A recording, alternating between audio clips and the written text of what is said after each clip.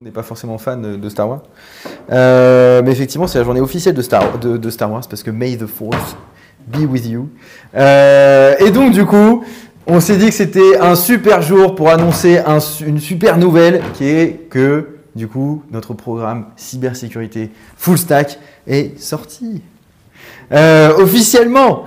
Euh, du coup, aujourd'hui, en fait, on, enfin, on vous avait fait un peu déjà l'annonce euh, un, peu pré-officielle euh, au moment du workshop cybersécurité que vous avez fait avec Florian, pour ceux qui étaient là il y a deux semaines.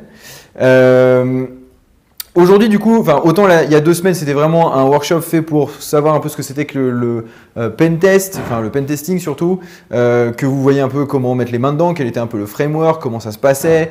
Euh, vous avez posé pas mal de questions à Florian, donc c'était super. Pour ceux qui n'ont pas vu d'ailleurs le live, n'hésitez pas à regarder sur notre chaîne YouTube.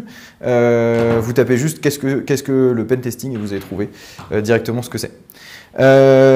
nous aujourd'hui, là, on va du coup faire un focus sur la cybersécurité full stack pour tous ceux qui avaient des questions sur le programme. Euh, mon but, ça va être déjà de vous présenter pendant à peu près 45 minutes euh, le programme, d'où on vient, quelle est la philosophie du programme, qu'est-ce qu'il va y avoir dans le programme. Euh, avec moi, du coup, il y a Jordan, que vous voyez en haut à droite de cet écran, qui est l'un des fondateurs du, programme, qui a du coup designé le syllabus. Avec Jérémy et Guillaume. Donc, du coup, si vous avez des questions techniques aussi, c'est le moment de les poser et euh, Jordan va se faire un plaisir d'y répondre. Ok? Ça va pour tout le monde? Est-ce qu'on commence du coup les slides? Alright. Euh, alors, pour déjà vous faire un petit débrief, euh, je, voulais, déjà vous dire un peu comment s'était passé les Essentials, parce que maintenant on a fait, on a fait euh, pas mal de sessions. Il y a à peu près une soixantaine de personnes qui sont passées par le programme Essentials. Euh, et c'est toujours un peu la question qu'on se pose quand on fait des nouveaux programmes, c'est du coup comment, comment ça s'est passé un peu post-formation, quels sont les outcomes, comment les élèves ont, pris la formation, et grosso modo pour savoir si on était bah, plutôt dans la bonne direction dans, dans ce qu'on allait, enfin dans ce qu'on construisait, ou est-ce qu'on faisait fausse route quoi. Alors sans plus attendre, vous avez les retours? Euh, alors les retours de la formation sont plutôt bons. Euh, à la fois donc sur le contenu de formation, que sur l'encadrement pédagogique, que sur la qualité des profs. Euh, qu'on a mis en place. Pour vous faire un petit euh, rappel de ce que, comment on avait fait la cybersécurité Essentials, euh, l'idée était de vraiment comprendre un peu l'entièreté des enjeux de la cybersécurité à travers plutôt le, on va dire le sous-domaine un peu de l'offensif et du pen test. Donc c'était à travers un prisme assez technique. On allait un peu montrer les différents enjeux de la cybersécurité. Et donc, on allait commencer par un peu voir les commandes terminales jusqu'à utiliser Kali Linux. Enfin bref, pour ceux qui ont fait les essentials, vous voyez un peu, euh, vous voyez un peu d'où, euh, euh, enfin ce que vous avez, ce que vous avez pu bah, voir durant tout le programme. Euh, donc on était assez content de ça et on se dit du coup franchement quand on a euh, une moyenne enfin une moyenne de 9,33 sur 10 sur justement à quel point vous avez aimé la formation euh, ce qui donne en général en fait on n'est on pas sur des enfin dans le, dans le, monde de la formation on calcule plutôt ce qu'on appelle un NPS pour Net Promoter Score. Quand vous avez des scores qui sont supérieurs à 55 en général on considère que c'est vraiment vraiment bien. Donc là on est plutôt à 67 donc ce qui est vraiment chouette. donc ça nous, ça nous conforte dans l'idée qu'on est plutôt dans la bonne direction donc merci déjà à nos élèves sur le retour que vous avez fait sur, ces formations. Euh, je sais qu'on vous embête tout le temps, vous direz comment vous, vous avez pensé la formation? Euh, mais c'est justement pour savoir un peu euh, vraiment dans, l'objectif de ce qu'a toujours été JEDA, c'est-à-dire de vouloir faire des formations d'excellence. c'est en ayant ce, un peu ce feedback loop qu'on peut itérer, améliorer et voir si justement bah, les objectifs qu'on s'est fixés sur la formation sont remplis ou pas. Donc, Juste pour vous donner un peu, là c'était un peu ce que, les, élèves en ont pensé, pour vous donner un peu l'outcomes post-essentials. Donc qu'est-ce, que, qu'est-ce qui s'est passé, qu'est-ce qu'ont fait les étudiants après euh, la formation de manière générale euh, Et ben c'était un peu justement euh, ce que on avait décidé, enfin ce qu'on avait voulu pour la formation essentials, c'est-à-dire que les objectifs vont être assez divers pour chacun. au global, que ça va être des personnes qui vont démarrer dans le domaine, mais qui vont pas forcément vouloir entrer directement dans le domaine. Et vous voyez d'ailleurs, enfin là sur le, sur le graphique que vous voyez, sur le joli camembert à droite, euh, vous avez à peu près, sur toutes les personnes qui sont inscrites, vous avez 30% des gens, un peu plus de 30% des gens, qui sont allés directement en cyber. Ok? Donc soit, soit en tant que pentester, soit en tant que consultant cybersécurité. Vous avez quelques exemples en haut à gauche d'ailleurs. Euh, il y en a qui sont carrément intervenants maintenant en pentest. sur, enfin pour, diverses universités. ce qui vous montre un peu aussi la tension qu'il y a sur le marché, justement en cybersécurité et à quel point ce, domaine est assez porteur. Mais du coup, ce n'était pas forcément que, les objectifs qu'avaient les élèves au départ. on, a on a eu beaucoup d'élèves forcément qui viennent du monde de la data, euh, comme ce que vous imaginez, puisque Jeddah originellement était une, euh, école de la data, euh, et qui du coup voulait justement ajouter à leur corde, enfin une corde à leur arc, qui est la corde de la cybersécurité. on, nous avait posé un peu la question aussi quels étaient le, les points communs ou quels sont les ponts entre la cybersécurité et la data. Il, y en a, il y en a énormément.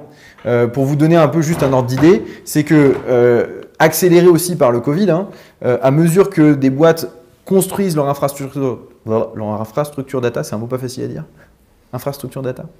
À mesure que du coup qu'elles grandissent, ces boîtes et ces besoins en data, euh, bah forcément vous avez euh, des besoins cybersécurité qui vont aller derrière. Comment je protège ma donnée sensible Comment je respecte aussi la, régulation en vigueur ok euh, tout ce genre, toutes ces questions, forcément, elles se posent de plus en plus à mesure que vous investissez de plus en plus sur, le sujet data. euh, si vous regardez d'ailleurs, je m'étais amusé un peu à regarder aussi quel était l'état du marché euh, de, la cybersécurité vraiment de manière chiffrée. Vous avez, des rapports qui sont extrêmement intéressants faits par des grosses boîtes de conseil comme Gartner, comme PwC, comme IBM aussi qui vous expliquent que justement ce que les dirigeants voient comme sujet de bah, grandissant de, à protéger, enfin c'est-à-dire de, de, sujets cybersécurité et de choses à protéger, bah, justement c'est la data. ok c'est leurs infrastructures data. Et donc finalement, vous voyez un peu justement la, concomitance qu'il y a entre ces deux domaines. À mesure qu'on va devoir investir sur, sur, sur, de la data, il y aura forcément des enjeux cyber. Euh, et donc du coup, c'est un peu euh, l'objectif de ces 30 autres pourcents de personnes qui sont venus un peu, un peu là, c'est de faire un peu l'alliance cyber-data et euh, bah, justement avoir cette connaissance-là pour bah, revenir dans leurs boîtes respectives et pouvoir protéger leur, leur projet. ok? Et après, dans une moindre mesure, du coup, vous avez les personnes qui sont en transition, euh, donc soit qui veulent utiliser, enfin qui recherchent du coup un job euh, après la formation, soit qui veulent utiliser la formation comme tremplin vers d'autres formations plus poussées. Ok. Euh, on, a, on, a, vu ça par exemple pour ceux qui vont aller faire des, des, formations beaucoup plus longues sur 5 ans et qui vont utiliser la formation Essentials comme moyen de, euh, bah, d'être pris dans ces, dans ces, dans ces universités-là, euh, qui, sont assez, qui peuvent être assez sélectives. Et après, enfin, du coup, bah, vous avez un autre pan qui est, qui est finalement les personnes qui vont, être, euh, qui vont utiliser la cyber plutôt dans leur job, mais leur job ne, consiste pas forcément à être dans la data. ok? Euh, on a beaucoup, par exemple, de personnes qui sont dans le marketing, dans le, le parti copywriting, qui veulent comprendre, qui sont journalistes aussi, qui veulent comprendre un peu comment ça va se passer, bah, les sujets cyber, comment le, domaine évolue, pourquoi il est important, etc., etc., etc.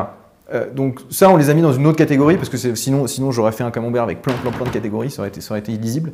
mais comme ça, ça vous donne un peu une idée de qu'est-ce qui est fait euh, ou qu'est-ce que les gens s'attendaient à faire aussi en rentrant dans les essentials et qu'est-ce qu'ils ont fait après. Euh, et je trouve que c'était pas mal parce que, en fait, pour moi, euh, l'objectif des essentials, que ce soit en data ou en cyber, il est là. C'est, il, est, il est pour des personnes qui veulent comprendre les enjeux du domaine et après les utiliser là où ils, sont. On est là pour le, les essentials sont le tremplin pour amener les gens de 0 à 1. Euh, donc pour moi, c'est là où je, suis content de la part de toute l'équipe euh, et du coup de, l'école vers là où on est allé, c'est que cet objectif-là, il est rempli. On voit, du coup que les outcomes, ils sont là et que euh, les gens viennent pas pour rien. et surtout, bah, du coup, qu'ils réussissent vers là où ils veulent aller. donc ce pilote, je trouve que on est assez content, ça marche plutôt bien. Maintenant, du coup, on peut quand même aller plus loin. Du coup, on se dit, on, est en bonne voie. Euh, allons, allons, allons vers, du coup, la cybersécurité full stack. Si on a bien fait, pourquoi, pourquoi, pourquoi s'arrêter là? Euh, Pour vous donner un peu un, ordre d'idée de ce que de ce qu'on fait sur la cybersécurité full stack, de la même manière qu'on a construit la cybersécurité, euh, le programme full stack data, on garde le même modèle pour la partie cybersécurité. L'idée, c'est de faire en sorte qu'on ait des programmes par niveau qui euh, n'amène pas qu'à un seul métier, mais qui vous amène à vous ouvrir au domaine de manière générale. Ok? Ce que là, où vous, vous allez choisir votre, votre élément de choix, ce, que ce sur quoi vous allez moduler, c'est à quel niveau vous voulez atteindre avant d'aller vers ce domaine-là. Vous voulez les essentials, vous, vous allez de 0 à 1, vous avez des connaissances très bien sur le domaine, vous connaissez, vous, vous connaissez, vous comprenez tous les enjeux, très bien, ça peut vous donner un premier pied à l'étrier. Maintenant, est-ce que ça va faire de vous des pen testers directement? Pas forcément, ok? Il va falloir continuer de pratiquer. Euh, L'idée de la cybersécurité full stack, de la même manière qu'en data, c'est d'être beaucoup plus professionnalisant. Vous allez investir beaucoup plus de temps, bien sûr, parce que c'est un programme qui va prendre 300 heures de formation en cours euh, et 120, 120, heures en plus pour des projets. ok? Euh, donc forcément, vous allez y investir beaucoup plus de temps. Mais l'idée, là, c'est qu'on monte une, marche énorme. là, l'idée, c'est que euh, vous allez avaler énormément de contenu sous format d'un bootcamp de manière intensive pour réussir un projet professionnel, une transition, euh, un upskilling, bref, que vous soyez vraiment technique. Quoi. OK? Donc de la même manière, euh, on a 420 heures de bootcamp, comme je vous le disais, on va faire 10 projets. OK? Euh, Dans ces 10 projets, donc ça veut dire que vous allez faire 9 projets intermédiaires durant la formation durant chacun des modules, vous avez vu qu'en fait, c'est un projet par module de formation. Et on va vous montrer les modules de formation. Enfin, Jordan va vous les présenter juste un peu après. Mais vous aurez du coup un projet à la fin de chaque module euh, qui va correspondre du coup à l'indépendant que vous voulez maîtriser dans euh, la partie cybersécurité full stack. Et le dernier euh, projet, ça va être du coup le projet Démodé sur lequel vous allez bosser aussi pendant deux semaines. et Jordan vous faire un plaisir de vous l'expliquer, mais ça va être grosso modo d'exploiter ce qu'on appelle une CVE. L'objectif au final, euh, c'est pareil, c'est que de la même manière un peu que dans la partie cybersécurité essentials, on prend un peu le prisme de, du pentester, de l'ethical hacking pour, euh, bah pour construire tout le, tout le contenu.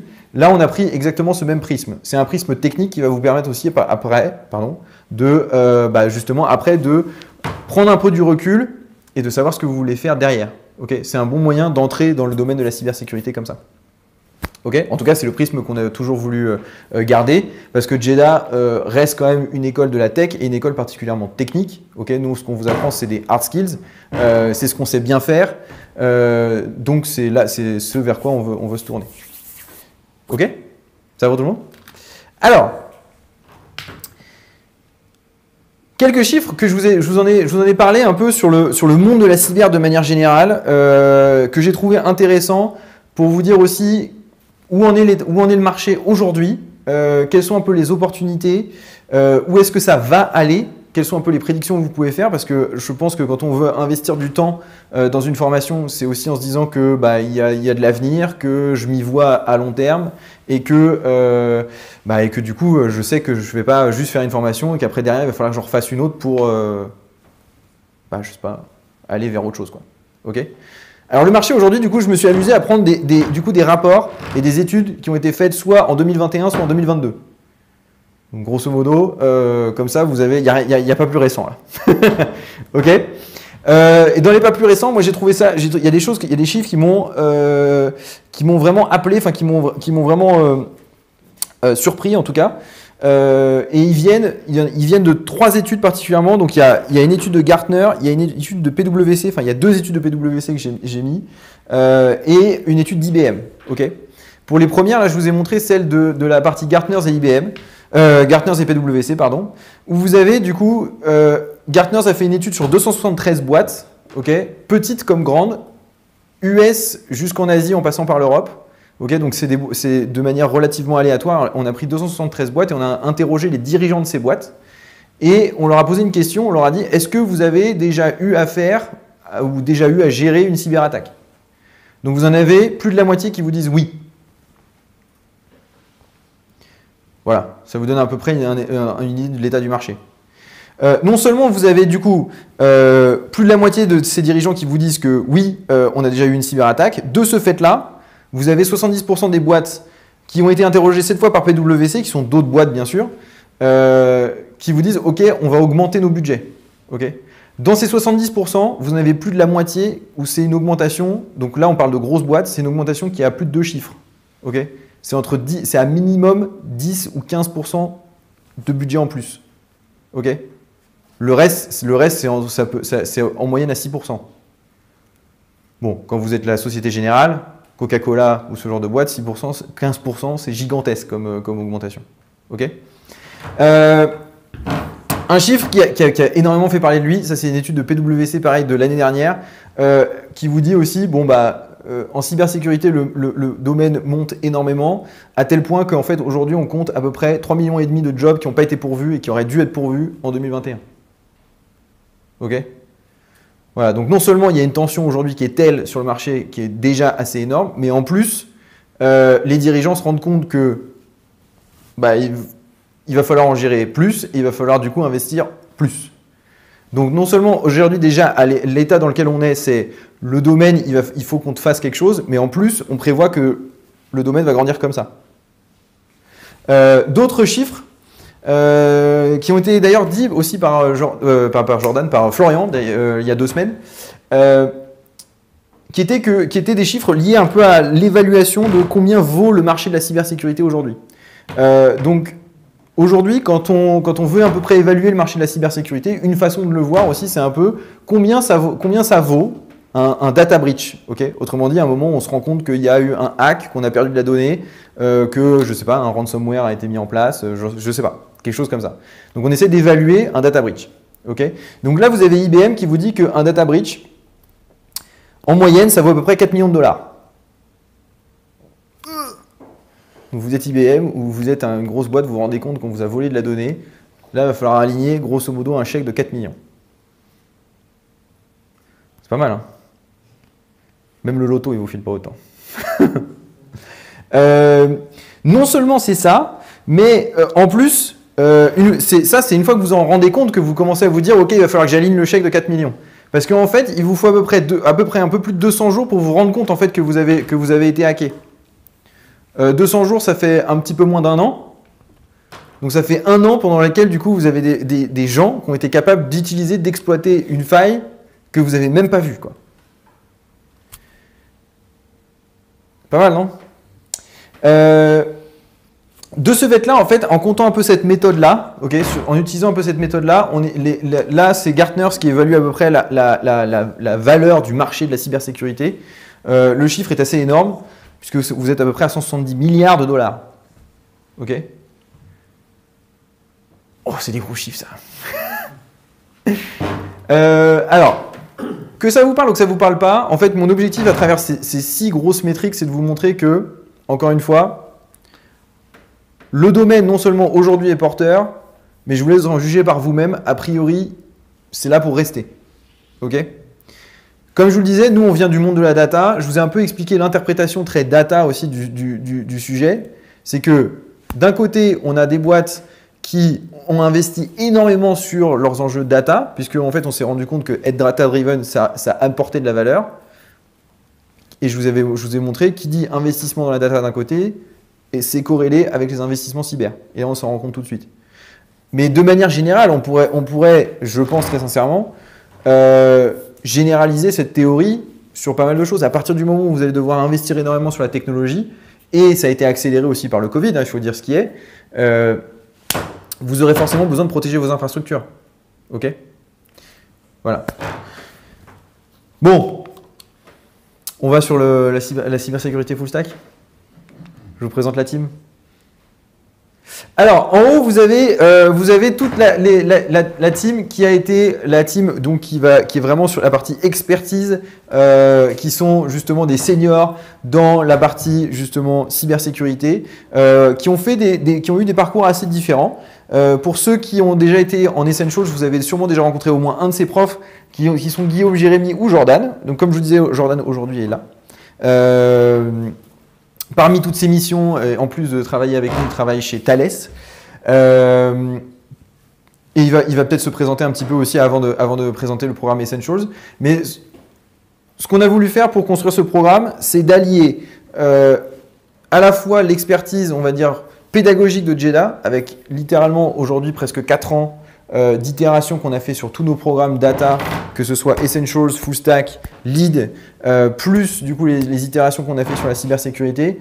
Euh, on a voulu justement apporter cette expertise-là les connaissances qu'on a sur le, comment enseigner, comment on peut faire passer de la connaissance le plus vite possible euh, pour que justement on puisse bah, toujours mettre plus de connaissances dans un, dans un, dans un, dans un temps restreint.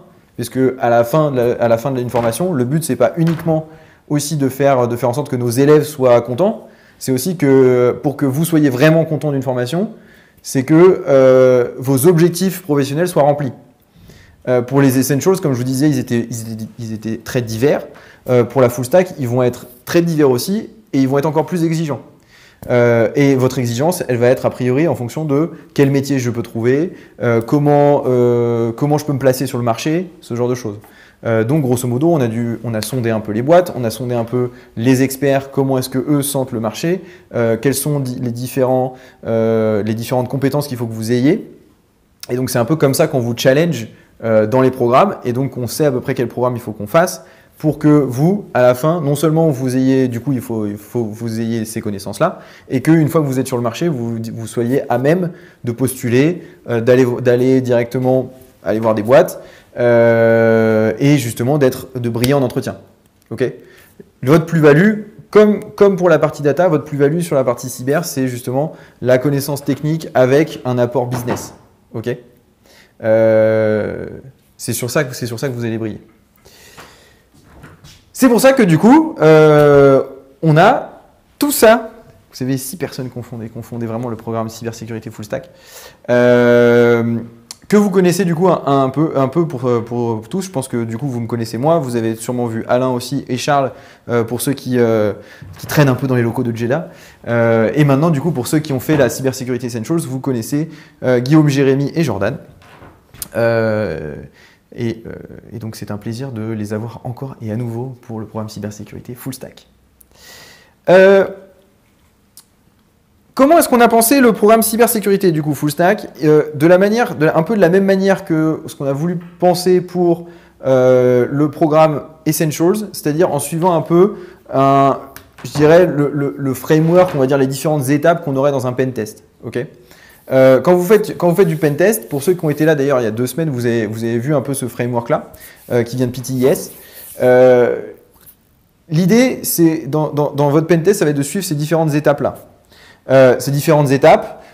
Vous allez avoir du coup la partie on se met d'accord sur comment, comment le pentest doit aller, quelles sont un peu les limites, qu'est-ce qu'on va tester, euh, ce genre de choses. Ok? Une fois qu'on s'est mis d'accord, à ce moment-là, on va commencer le, le pentest. On va essayer d'avoir des renseignements sur l'infrastructure qu'on doit euh, essayer de hacker. après, on va essayer d'exploiter des vulnérabilités. Et après, grosso modo, on va mettre en place un rapport. ok?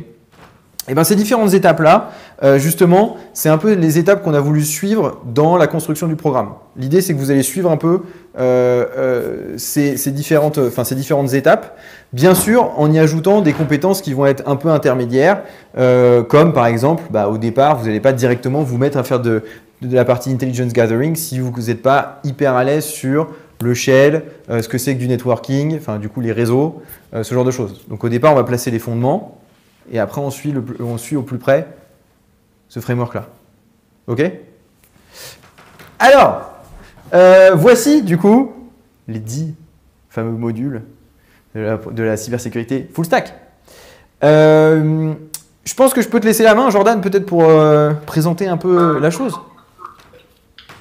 Oui, ça te va Avec plaisir. du coup, bah, comme tu l'as dit, on a, on a conçu ce, ce module, enfin cette formation full stack sur un total d'à peu près 300 heures de, cours, plus 120 heures de, de projet, sur un total de, 10 projets. est ce que je peux vous proposer, alors moi je ne l'ai pas forcément sous les yeux, donc je reprends un peu mes notes.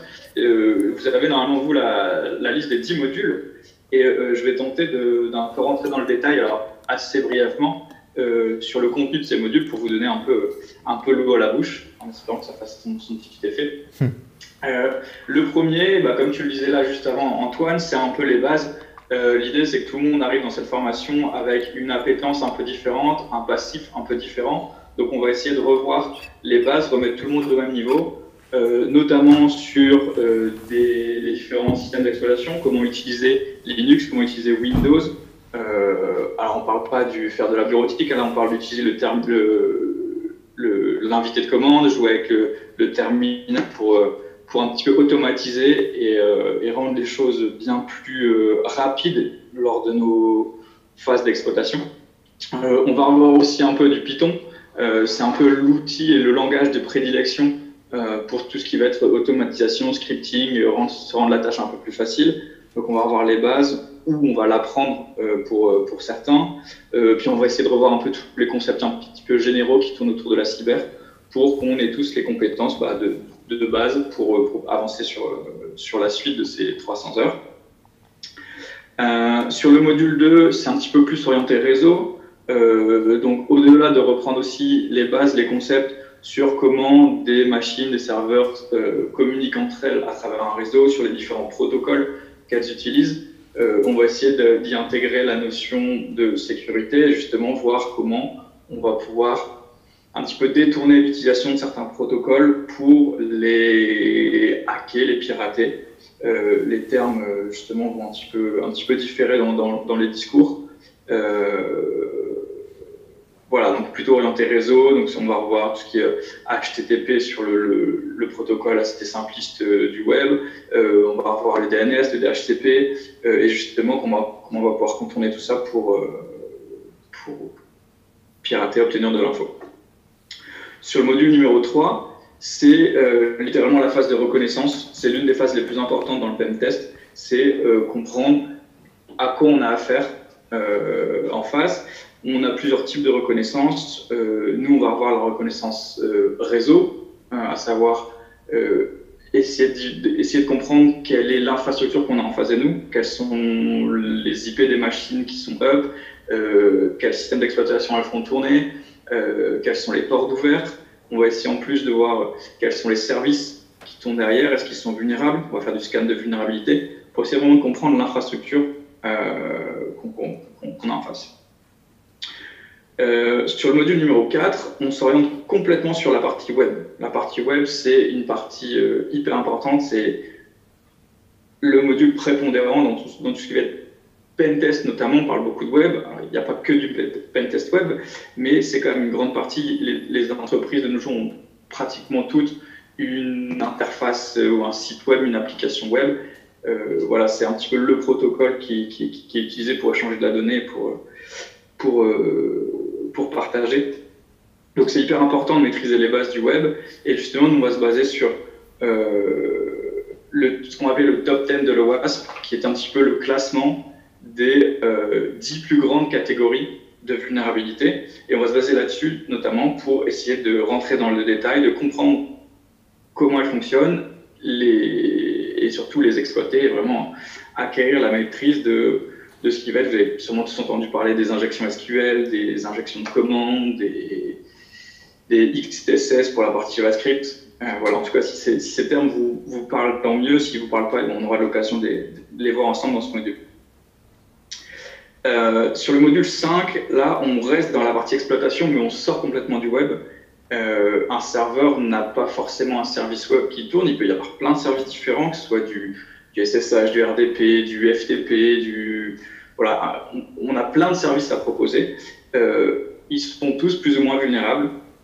L'idée, c'est de voir justement comment, à travers ces interfaces, ces systèmes, on va pouvoir exploiter une machine à distance ou pas. Et potentiellement, le but après la phase d'exploitation, c'est d'en avoir le contrôle. C'est un petit peu le but ultime, d'être en mesure de effectivement jouer n'importe quelle commande, d'en prendre le contrôle, de récupérer de la donnée et d'avoir compromis complètement le, le, système. Donc on va passer par des outils, euh, enfin on va essayer de le faire à la main, pour bien comprendre comment ça fonctionne. On va aussi découvrir et utiliser des outils qui vont permettre d'automatiser un grand nombre de ces attaques. Euh, on va passer par l'exploitation aussi, là je vous parlais des serveurs, mais aussi du côté client, euh, notamment comment on fait pour compromettre le PC de monsieur, madame, tout le monde, en passant par euh, les liens sur lesquels il ne faut pas cliquer, en passant par euh, les fichiers à ne pas installer, les, documents Word qui contiennent des macros un petit peu malicieuses. Euh, voilà, on va voir un petit peu tout, tout, ce, tout ce concept des attaques qu'on va appeler côté client. On va parler des antivirus aussi, comment ils fonctionnent, comment les contourner. On va essayer de, rentrer un peu plus dans le détail. Et pour enchaîner sur le module 6, qui cette fois-ci est orienté un petit peu plus Windows. Euh, vous n'êtes pas sans savoir que je crois que le chiffre c'est 95%, voire plus, des entreprises utilisent les systèmes Microsoft, utilisent notamment un Active Directory pour justement contrôler le parc informatique qu'elles euh, ont. Euh, on va essayer de rentrer un petit peu plus sur ce sujet pour comprendre ben, que compromettre finalement un Active Directory, ce, cerveau qui, pilote l'ensemble du parc informatique, c'est devenir euh, le maître de l'entreprise, c'est de contrôler absolument tout et n'importe quoi. Sur, euh, c'est d'être capable de, se connecter à n'importe quel PC, d'en extraire n'importe quelle donnée à, tout moment. Donc on va essayer de rentrer un peu plus dans le détail de cet Active Directory, voir comment il fonctionne. Euh, et puis forcément, on va y amener la notion de cybersécurité, on va essayer de comprendre quelles sont les attaques associées à ce type d'infrastructure on va tenter de les exploiter et de, voir tout ce qu'on peut faire avec. Euh, si j'enchaîne, le module 7, c'est toute la partie post-exploitation. Euh, la post-exploitation, c'est le principe de dire, voilà, on a réussi dans nos phases précédentes à compromettre une machine. On est capable d'avoir, par exemple, un invité de commande sur cette machine, on peut y faire ce qu'on veut, mais on est limité potentiellement à un utilisateur bas niveau. Donc l'idée de la post-exploitation, c'est de voir qu'est-ce qu'on peut faire à partir du moment où on a ce contrôle avec peu de privilèges, mais ce contrôle de la machine. On va essayer d'élever nos privilèges, de devenir euh, administrateur sur Windows, de devenir root sur Linux. Euh, on va essayer de voir comment on peut mettre en place du maintien d'accès pour garder un contrôle dans le temps. On, va essayer de voir un peu ce que c'est que le pivoting. À partir du moment où on contrôle une machine, elle est potentiellement exposée à un autre réseau qui est à l'intérieur de l'entreprise. Qu'est-ce qu'on peut y faire? Est-ce qu'on peut rescanner et un, peu ainsi se, propager de machine à machine? Et puis on va voir des, notions comme euh, comment gérer ses traces d'un point de vue attaquant, mais surtout d'un point de vue euh, white hat, le pen tester, comment il doit faire pour, euh, pour la, la, la, notion de la gestion des traces qu'il a laissées sur le système, et aussi comment euh, rédiger un reporting, comment euh, annoncer et rédiger les bons documents à fournir au client pour justement lui expliquer toute la phase de ce qu'on a fait. Euh, dans le module 8, si je dis pas de bêtises, parce que là je le fais de tête, c'est tout ce qui va être Red Team. Red Team, l'idée c'est de se dire. C'est wireless. C'est ça? C'était wireless, c'était wireless, c'était oui, wireless. Ok, j'ai switché wireless. Bah, du coup, le concept il est assez simple, c'est de, de, partir sur euh, la notion du sans fil. Euh, de plus en plus, et on, on, utilise pratiquement tous au quotidien des technologies sans fil, aussi bien le Wi-Fi que le Bluetooth, que le RFID. Euh, l'idée, c'est de comprendre comment ça fonctionne et surtout quelles sont les attaques qui y sont associées pour justement ben, contourner des mécanismes euh, d'authentification, par exemple, euh, comment déchiffrer du trafic euh, Wi-Fi, ce genre de choses. C'est un beau sujet qu'on a préparé là-dessus. je reviens du coup au Red Team. la partie Red Team, c'est un petit peu l'ensemble des, des, connaissances qui serait un plus à avoir, le team en soi, c'est le fait de dire on va faire un audit de sécurité, un test d'intrusion, mais il n'y a pas forcément de limite, tous les coups sont permis. Et donc, dans cette catégorie, on va essayer d'y mettre un petit peu euh, des notions de reverse engineering pour voir un peu comment euh, acquérir de l'information à partir d'un programme qui a été compilé et qui a été offert par une société euh, qu'on trouverait sur, sur, une machine compromise. On va y ajouter la notion de buffer overflow, on va y faire un petit peu de forensique, ce qui va être le concept d'investigation numérique, euh, qui est pour le coup un métier à part et qui, est super intéressant. Euh, on va y mettre dans cette partie-là tout ce qui va être ingénierie sociale. Cette fois-ci, on va parler du, piratage, mais du cerveau humain, voir comment on peut arriver à nos fins en euh, faisant faire à une victime des choses qu'elle aurait pas conscience de faire, mais qui, d'un point de vue attaquant, va nous permettre d'obtenir des informations, des accès, plein de choses. C'est aussi hyper intéressant. Et je l'ai fait le tour des neuf premiers modules, ce qui nous laisse la fin, euh, sur la fin, le projet euh, final qui va déboucher au démodé. Sur ce projet, on veut vous faire retracer euh, toute la vie, tout le travail que pourrait faire un chercheur en cybersécurité. toute la vie d'une vulnérabilité, de la phase de la recherche de cette vulnérabilité à sa découverte, en passant par son exploitation, créer l'outil qui va bien, pour finir par une présentation d'un point de vue général de ce que tu disais tout à l'heure Antoine, une CVE. Une CVE étant, pour ceux qui, qui, n'auraient peut-être pas suivi la partie Essential, la CVE étant l'identifiant le, numéro de référence unique d'une vulnérabilité sur un produit dans une version particulière. Donc l'idée, c'est de vous faire retracer tout ce travail qui en général est fait par des chercheurs en cybersécurité pour bien comprendre le fonctionnement et arriver à la fin à exploiter votre propre vulnérabilité en en ayant compris euh, ben, tout de, A à Z. Euh, voilà, je crois que j'ai fait le tour d'un petit peu plus le détail des 10 modules. Euh, Mais c'est pas mal, non? bon, questions après, je peux y répondre sans, souci. Avec, merci beaucoup, merci beaucoup, Jordan. Bon, ça fait pas mal de choses à voir, hein Ouais, ça fait pas mal de choses à voir.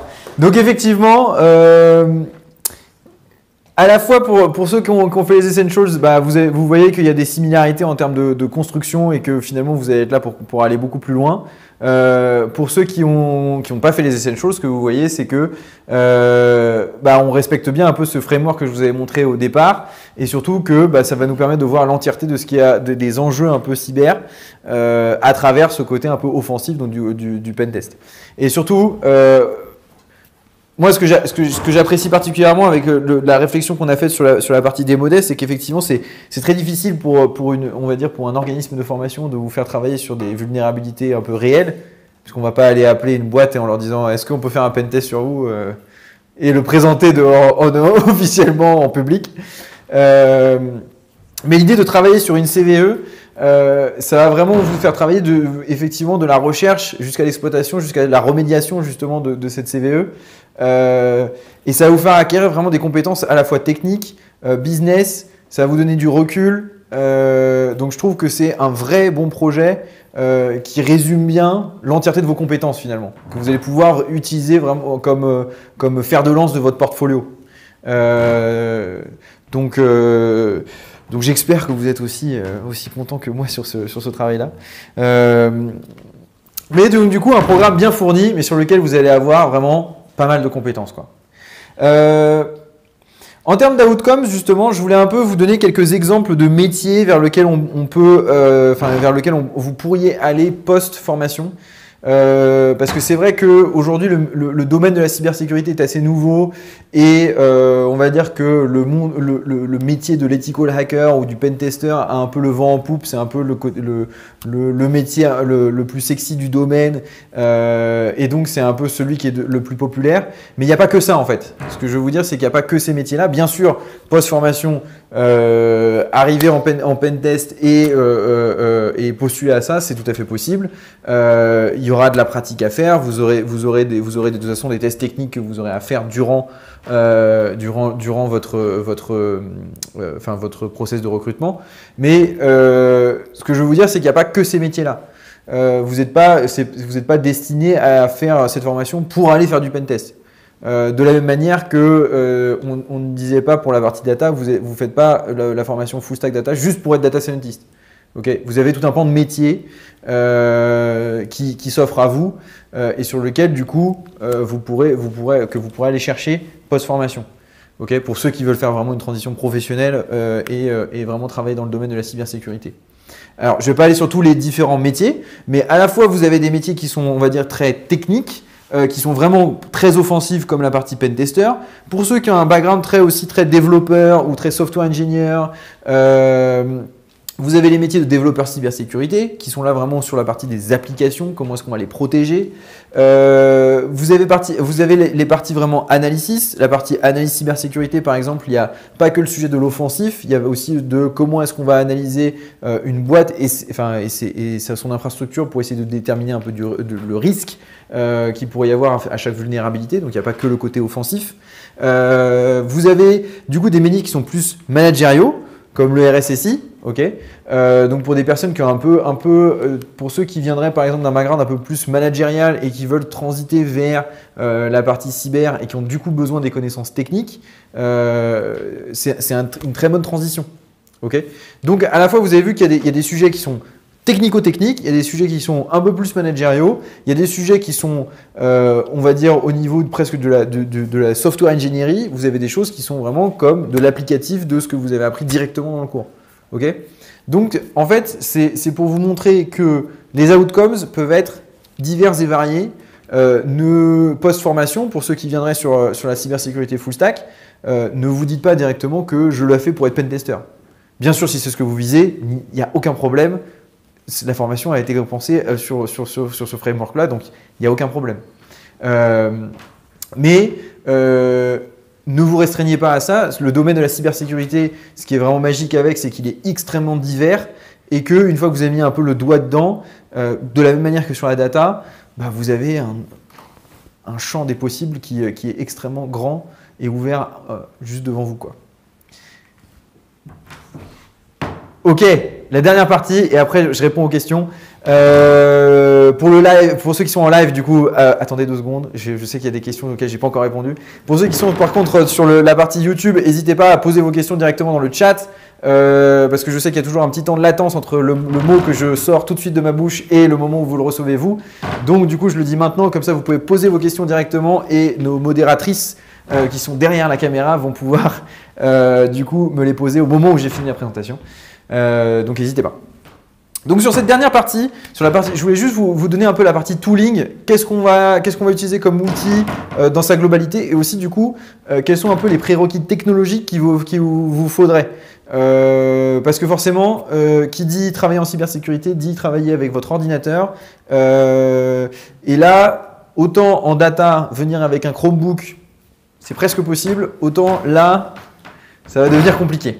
Donc en termes de tooling, juste euh, pour vous dire, quelques petites choses sur lesquelles on va travailler. On va travailler sur un système, qui, enfin sur une distribution de Linux qui s'appelle Kali Linux. Pour ceux qui, ont, qui ont, été un petit peu dans le monde de la cybersécurité, vous savez déjà ce que c'est que Kali Linux. Euh, pour ceux qui n'y sont pas, euh, justement, dites-vous que votre ordinateur il fonctionne avec un OS, ok? Et donc dans les OS les plus connus, vous avez Mac, vous avez Windows et vous avez Linux. Euh, mais Linux a cette particularité que Linux a des distributions. Euh, donc il n'y a pas que un ordinateur Linux ou il n'y a pas que un OS Linux, il y a plein de sous-OS, on pourrait, on pourrait appeler ça un peu comme ça, ou de distributions de cet OS. Euh, donc pour ceux qui ont travaillé, peut-être qui ont entendu parler de Ubuntu, de Debian, bref, peu importe. En tout cas, il y a Ubuntu, il y a Debian, mais il y a aussi Kali. et donc voici Kali Linux. Euh, donc justement, sur votre ordinateur, vous allez installer en fait ce qu'on appelle une machine virtuelle euh, dans laquelle va être installé Kali Linux. Une machine, une machine virtuelle, c'est quoi? Euh, bah, C'est simplement en fait un, ordinateur dans votre ordinateur. C'est comme une boîte, une, boîte dans laquelle vous qui, est, qui, est, au départ vide et vous allez lui installer plein de trucs. cette boîte va utiliser les ressources de votre ordinateur. Vous allez lui allouer un, peu, un peu de ressources de votre ordinateur. Donc si par exemple votre ordinateur vous avez je sais pas 200 Go de stockage et, et 8 Go de RAM, bah, vous pourrez dire à votre VM, jaloux, euh, je ne sais pas, sur ces 8 Go de RAM, toi je te donne 2 Go de RAM et je te donne 25 Go de stockage. Ok? Ça, c'est votre VM. Et là-dedans, avec ça, vous allez pouvoir l'utiliser pour installer Kali Linux, comme si c'était un autre ordinateur, mais à l'intérieur du vôtre. ok? Euh, et à l'intérieur de Kali Linux, bah, du coup, il y a pas mal de choses qu'on va utiliser. Euh, Kali Linux vient avec plein, plein, plein d'outils pour faire du pentest. Euh, donc, il y a les outils un peu classiques comme Nessus, comme tout, le stack Metasploit, Edmap, etc., etc. En plus de ça, nous, on va travailler sur le programme Full Stack euh, sur pas mal de Python. Euh, puisqu'on va apprendre à scripter un peu du coup des, des programmes un peu malicieux, comme des keyloggers par exemple. Euh, donc on ne va pas utiliser uniquement que le terminal. On va aussi apprendre un peu à programmer. C'est pour ça que vous allez voir dans le, module 1, Welcome to the Cyber World, vous allez apprendre à coder.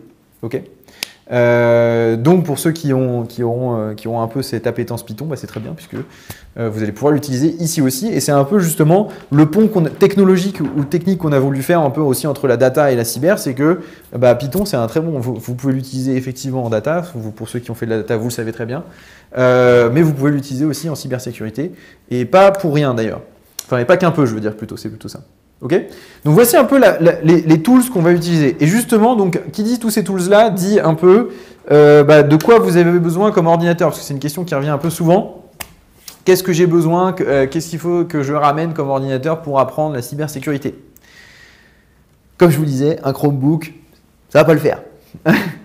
Mais euh, au-delà, une fois que je vous ai dit ça, bah, comment est-ce que je peux vous aider un petit peu mieux? Alors, la façon dont je peux vous aider un petit peu mieux, c'est peu importe le système, peu importe votre OS, par contre ce qui est important c'est que vous ayez une machine qui fonctionne un peu quand même.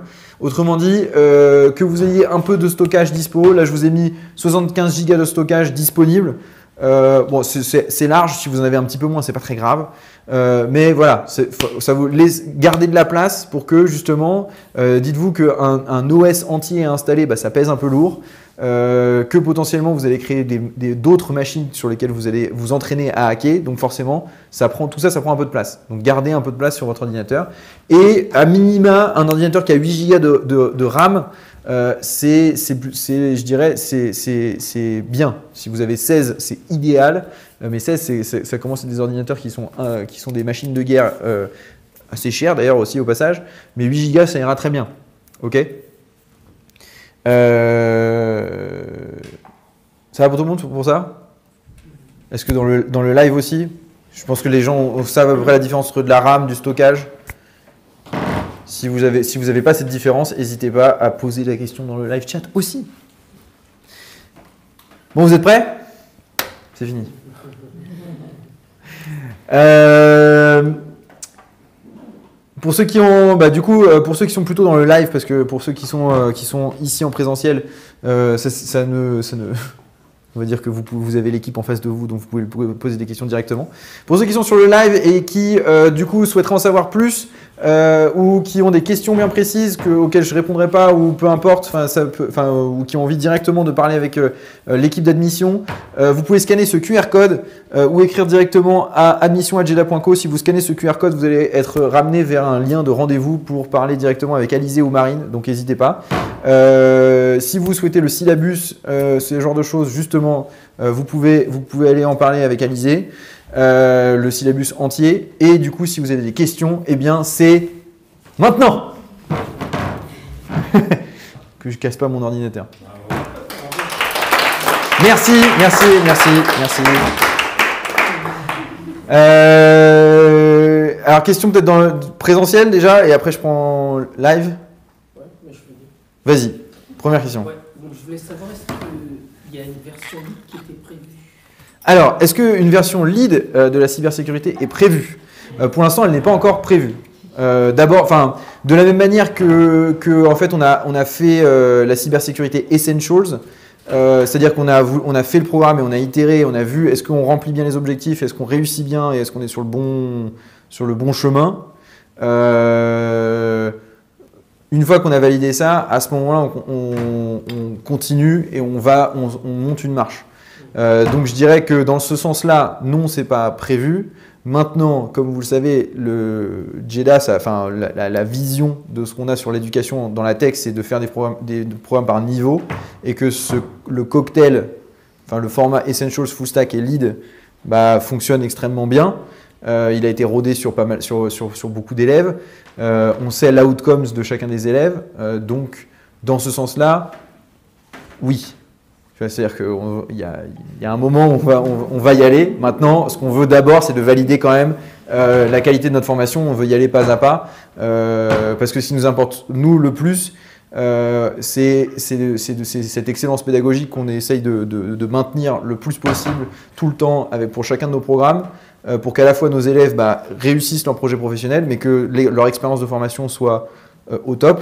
Parce qu'il n'y a pas juste réussir un projet professionnel. Si vous réussissez votre projet pro, mais que pendant tout, pendant tout le programme, vous en avez chié, euh, que vous êtes pris des portes et des murs et des murs et des murs et des murs et que ça a été difficile, c'est pas une bonne expérience de formation. Certes, un bootcamp, c'est quelque chose d'intensif, euh, mais ce qui, est, ce qui est intense, c'est le fait d'accumuler de la connaissance beaucoup d'un coup.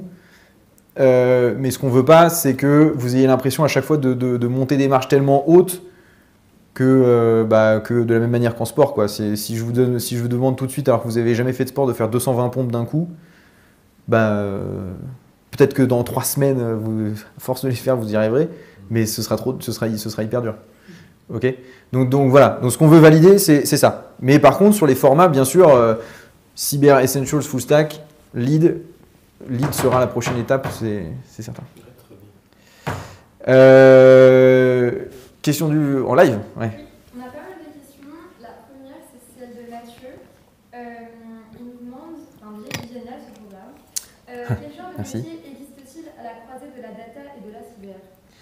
Euh, alors, la question de Mathieu, c'est qu'est-ce qu'il y a, est-ce qu'il y a des métiers qui sont à la croisée de la data et de la cyber? Oui, il y en a. Euh, est-ce que je serais capable de te donner un métier, enfin un nom de métier précis? Non, parce qu'en fait, ça va vraiment dépendre pour le coup des boîtes, parce que c'est très très, c'est, très très niche, euh, mais c'est mais c'est demandé. Le meilleur exemple que je peux vous donner, c'est que vous avez beaucoup de boîtes qui se spécialisent justement dans la cybersécurité et qui utilisent des techniques d'IA bah, pour définir des failles.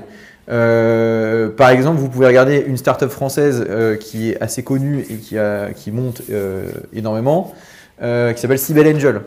le principe de Cybel Angel, c'est quoi? C'est d'aller rechercher sur le dark web de la donnée sur l'entreprise, enfin sur une entreprise cliente de, de, de, Angel.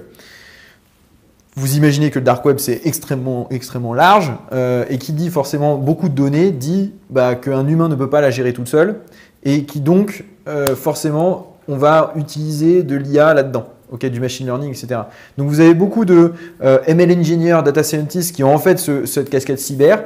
Euh, après, regardez par exemple sur, dans, sur les LinkedIn et différentes personnes sur CyberAngel pour avoir exactement leur nom, enfin le nom de leur job.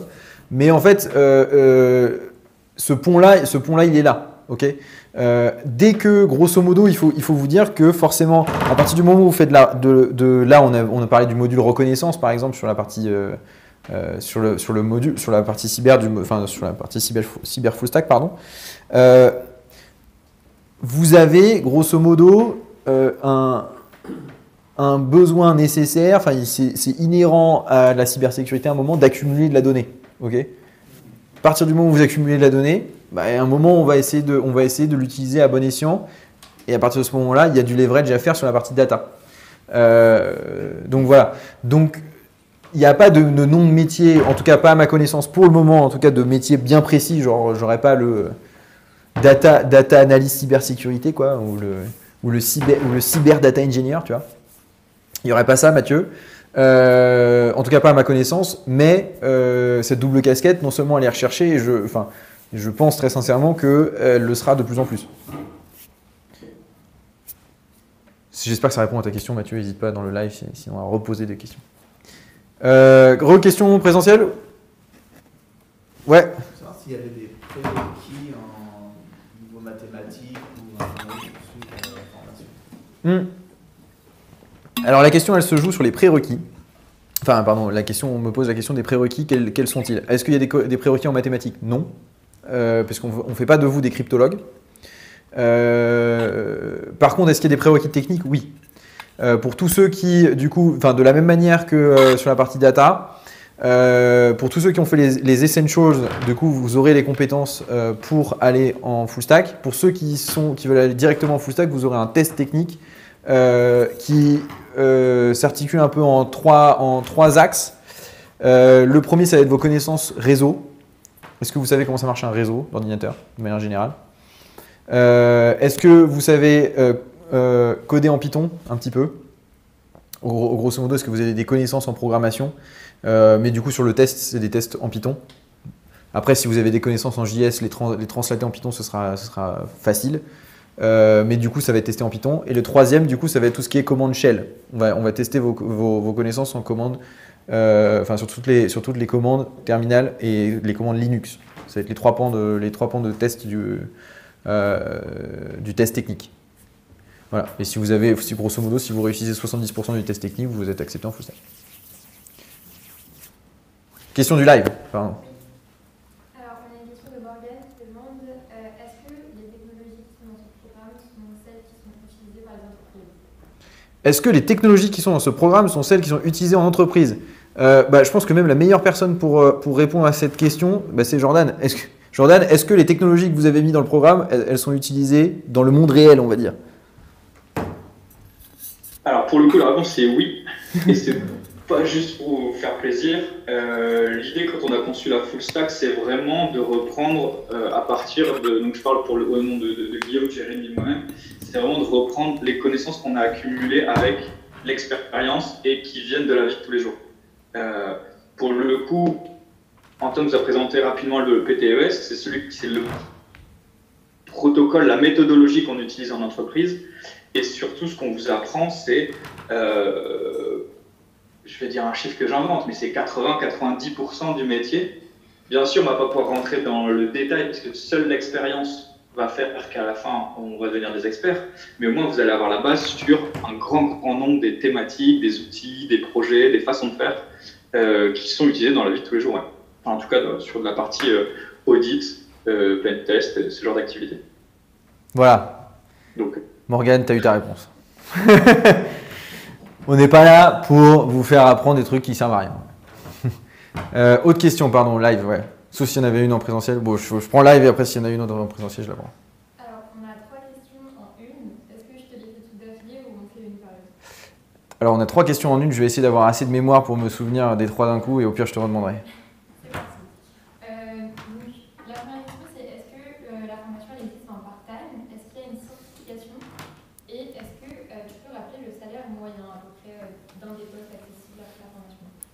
Ouais, alors, euh, donc je répète les questions pour ceux qui sont en live euh, et qui n'entendraient pas sur le micro. Alors, la première question, c'était euh, est-ce que la formation va exister en part-time? La deuxième question, c'est est-ce que ça débouche sur une certification?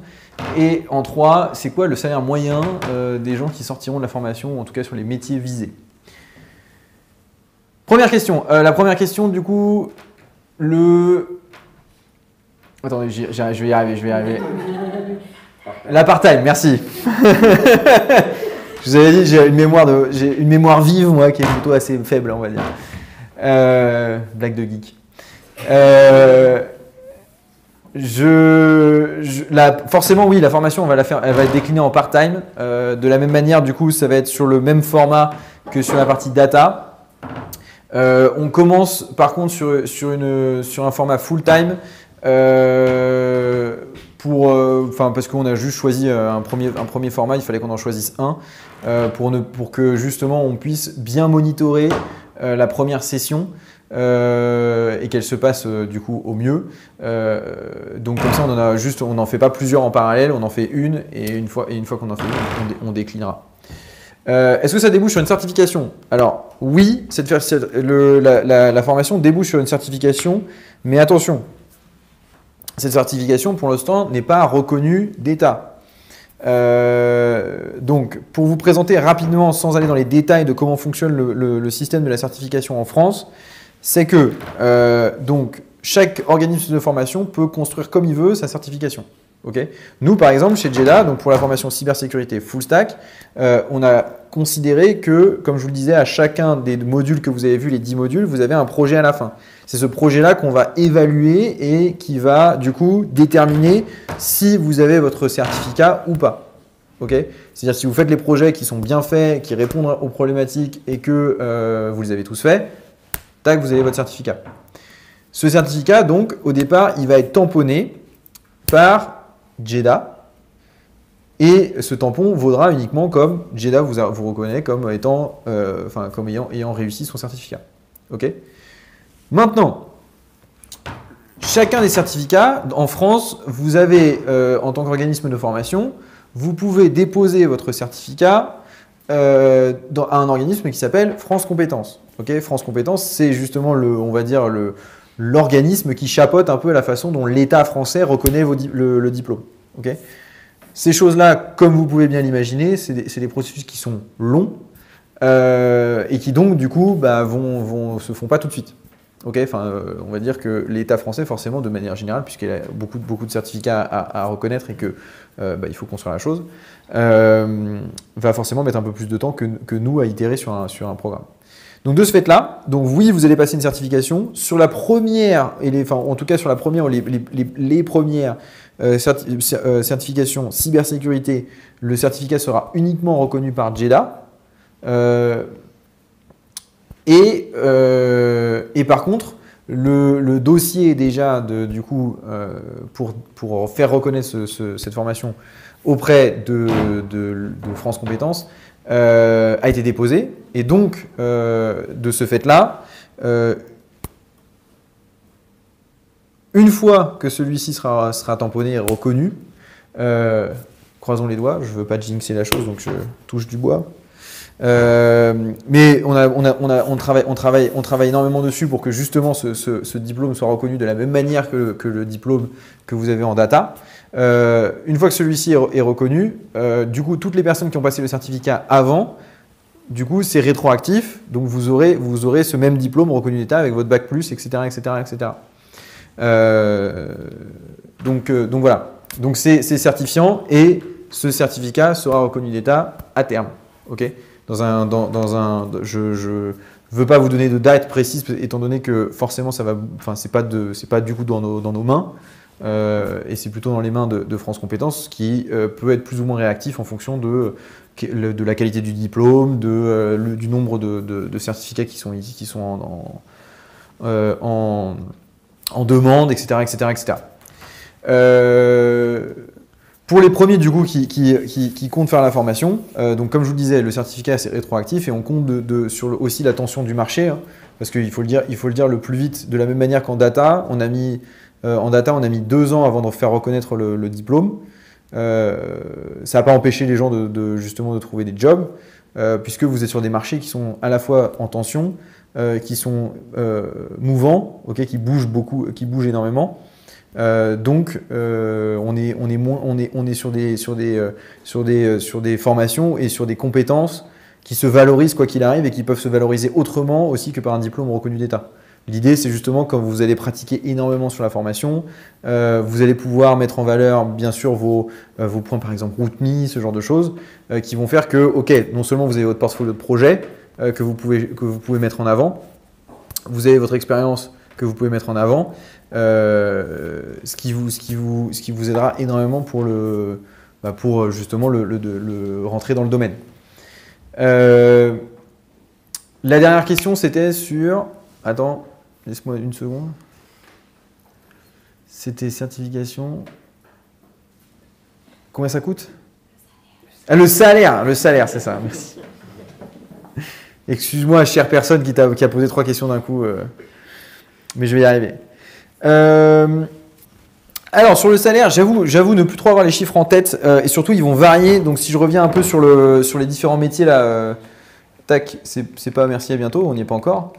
Si je reviens sur les différents outcomes, les salaires vont, vont, vont plutôt varier. Hein et, je vais, et je demanderai à Jordan aussi. Je, enfin, je vais pas lui demander son salaire. Euh, mais en fait, dites-vous que du coup, surtout, les, les, salaires vont varier sur les, sur les, sur les, différents, sur les différents métiers. Euh, on a d'ailleurs fait un article aussi euh, sur justement les différents métiers de la cybersécurité et sur les salaires moyens. peut-être que du coup, Louana, tu peux l'envoyer. Et peut-être du coup, je pense que Jordan, tu peux peut-être nous donner une idée si toi, tu as, des informations. Parce que moi, j'avoue, les chiffres, j'en ai en tête, mais je ne veux euh, bah, veux pas les balancer sans, être sûr de ma ressource. Ben, pour le coup, euh, j'ai pas forcément beaucoup plus de retours, euh, étant donné que, bon, effectivement, moi je travaille dans la cyber, mais dans une, une spécificité d'une catégorie précise.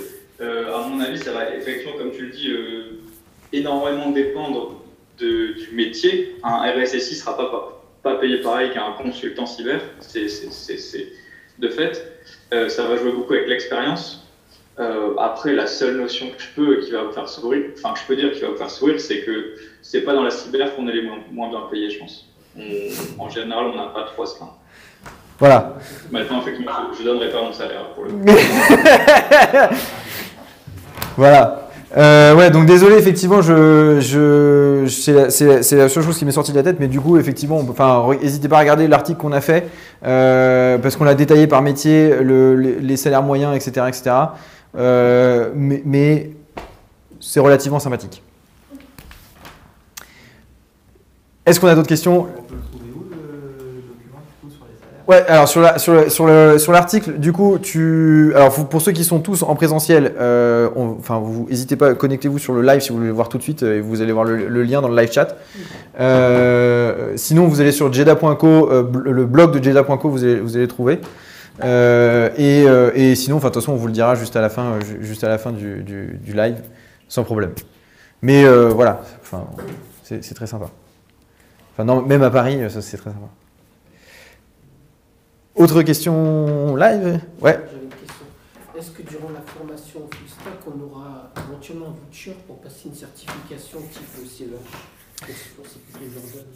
Ouais, alors justement, donc la question, euh, la question qui m'est posée, la Jordan, c'est peut-être aussi plus toi qui va pouvoir euh, nous le dire. C'est euh, donc dans le monde de la cybersécurité, en fait, c'est vrai qu'il y a des certifications qui sont assez connues, comme la certification CEH. toi, tu as passé une autre certification aussi, Jordan.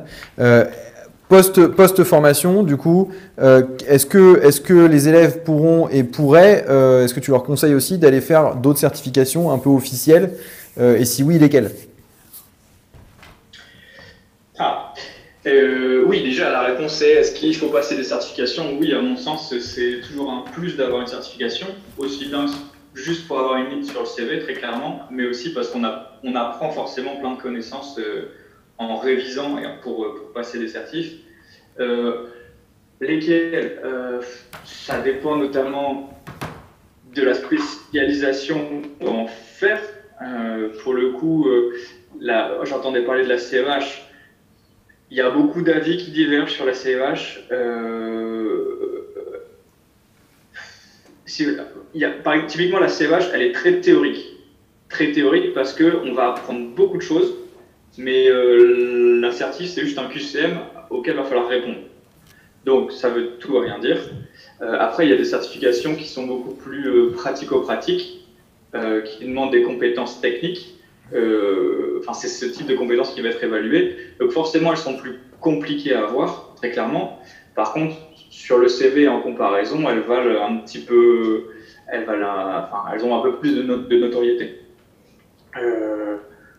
Maintenant, est-ce qu'il faut quelle certification euh, Alors, il y en a une que, que, je viens de passer, donc je peux en parler, qui s'appelle l'OSCP, qui est pour le coup assez reconnue et très technico-technique, euh, qui, qui, qui, est sympa.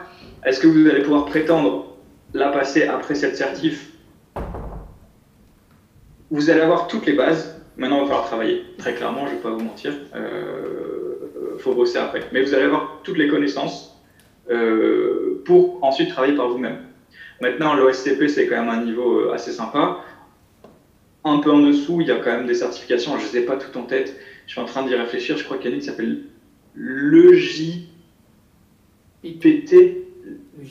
ouais, le JPT, ouais. C'est Junior Pen Tester, un truc comme ça qui est un petit peu entre les deux typiquement, qui, qui, qui, est un petit peu sur de la pratique, mais qui a un niveau euh, complètement raisonnable et qui, qui se fait son nom. Euh, voilà, il faut juste avoir des certifications, il y en a, il y en a une pelletée entre celles des organismes de formation euh, réputés qui sont là depuis longtemps, celles, il y a des youtubeurs spécialisés qui ont décidé de créer des entreprises pour faire passer des certifications. Elles valent ce qu'elles valent. L'idée, je pense, c'est vraiment d'apprendre en révisant et et voilà, d'avoir un, peu plus de connaissances à la fin que, Ouais. Et si je peux rajouter, donc effectivement, pour donner un peu de contexte, parce que c'est vrai que, enfin moi, ça m'avait, ça m'avait assez euh, intrigué euh, euh, quand j'ai quand j'ai découvert un peu le monde de la cybersécurité. c'est tout ce côté certification, parce qu'en fait, dans le monde de la data, on n'a pas du tout ça. Enfin, on n'a pas du tout ça. mais c'est vrai que dans le monde de la cybersécurité, au lieu d'avoir, enfin, c'est vrai qu'il n'y a, a, pas eu forcément pléthore de formations qui sont faites, mais par contre, il y a eu un peu des différentes certifications qui ont été euh, faites et des certifications internationales. Et donc, on nous, on nous parlait en live de la, du CEH, qui est la partie euh, certificate, Ethical Hacker, je crois que c'est ça le, nom. Euh, Jordan vous en a parlé d'une autre. Enfin, il y, a différentes certifications qui ont été faites un peu et qui ont de facto, à mesure des années, été un peu, un peu reconnues. Euh, dans le monde. Et donc, du coup, c'est pour ça qu'on on, posait la question est-ce que post-formation full stack, ça vaudrait la peine d'en de, de, faire Et est-ce que ce serait, ce serait pas, ce serait pas euh, une bonne stratégie? Euh, donc Jordan, lui, par exemple, il en a, il en a passé. Bah, peut-être que tu peux nous dire un peu justement le contexte un peu technique, comment ça s'est passé pour toi, parce que c'est vrai que l'OSCP, c'est, comme Jordan vous le disait, c'est un peu genre très très très haut niveau. Euh, comme il vous disait aussi, il y, a un peu un niveau intermédiaire, mais pour peut-être vous donner un peu un, Je sais pas, si tu donner un peu un ordre d'idée à l'audience, comment toi ça s'est passé, combien de temps tu as, passé à, travailler dessus Dis-nous un peu. Si tu peux d'ailleurs. ouais. Alors du coup, typiquement, l'OSCP, alors pour vous donner un ordre d'idée de ce que c'est déjà, c'est une, certification qu'on obtient alors, dans quel ordre je dis ça? Euh, L'exercice, la certification, le moment de passage de l'examen, ça se passe sous 48 heures. Donc c'est découpé en deux parties. Les premières 24 heures sont vraiment destinées à l'exercice pratique. Donc là, pour le coup, ça reprend exactement tout ce qu'on vient de vous expliquer en termes de syllabus et de, méthodologie. On a 6 euh, IP, donc qui correspondent à 6 machines différentes. L'idée, c'est de trouver enfin, notre fait de réaliser tout ce qu'on vous expliquer, les phases de reconnaissance, d'exploitation de vulnérabilité, de, de, de d'élévation de, privilèges, pour justement devenir euh, administrateur ou route de euh, l'ensemble de ces machines, en ne partant que d'une adresse IP. Ça, c'est l'examen technique. Euh, et l'idée ensuite, ça, on a 24 heures pour faire tout ça. Au bout de 24 heures, les, le, VPN, donc les accès sont coupés. Donc il y a une période de 24 heures qui démarre pour rédiger un rapport, euh, très clairement un rapport de pentest qui a pour but d'expliquer à notre client, qui est fictif, hein, qui, est représenté par l'organisme de formation, enfin de certification, euh, quelle a été la méthodologie employée, comment on a fait, expliquer les vulnérabilités, euh, comment y remédier. Enfin voilà, c'est un gros rapport de pentest, pour le coup tel qu'on le ferait dans la vie, dans la vie réelle. Voilà, après ce rapport, il est relu et il est validé ou pas pour avoir accès à cette certification. Maintenant, combien de temps j'ai mis pour la réviser Je pense que j'ai dû mettre 6 euh, mois à peu près. Euh, l'idée, c'est aussi quand on s'inscrit pour cette certif, l'organisme de, formation, de certification nous donne accès à des, à des exercices, en fait, à des, ce qu'on appelle des labs qui permettent justement de nous exercer. Euh, donc là, en fonction de, du, en gros, du prix qu'on paye, on a plus ou moins accès longtemps à ces labs. Euh, après, il y a des autres outils, type, euh, je t'entendais parler de RootMe tout à l'heure, il y a des autres sites publics et plus ou moins gratuits qui permettent aussi de s'entraîner. Donc voilà, moi j'ai dû mettre à peu près 6 mois, 6 mois, alors pas au, quotidien, mais pas en temps plein, plutôt le soir et le week-end, pour faire tout ça. Et, et voilà. Ouais. Voilà, merci. Non, mais c'est, je pense que c'est important de mettre un peu le contexte parce que effectivement, du coup, à la différence de la data où il n'y a pas grand-chose en termes de certification, en cyber, vous avez plein de trucs un peu internationaux, euh, euh, nationaux. Enfin, vous, peut-être que vous allez un peu vous sentir un peu perdu aussi. Euh, et qu'en fait, du coup, y a, chaque certificat ne se vaut pas. Enfin, c'est pas les différents, les mêmes niveaux, c'est pas les différents, c'est aussi des différents types de, de préparation. Et d'ailleurs, c'est de la même manière que, enfin, pour chacun des certificats, c'est un exercice en soi.